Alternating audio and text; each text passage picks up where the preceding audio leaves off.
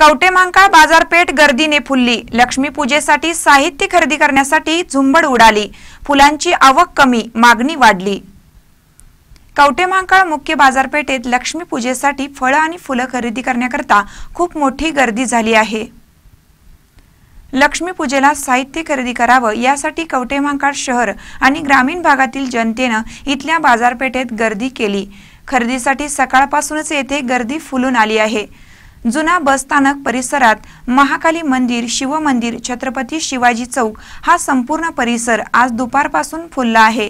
यंदा पावसानं फुलं शेतीला झोडपून काढलं आणि याचा परिणाम आजच्या बाजारपेठेवर दिसून आला.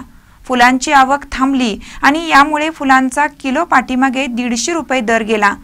पण बाजारपेठेत आनंद आणि उत्साह मोठा असल्यानं दर न पाहता फुलं आणि फळं खरेदी केली जात होती. निशिगंध केवडा कमळ शेवंती गुलाब जरबेरा अशा फुलांनी जणू काही रस्त्यावर बगीचाच फुलला होता.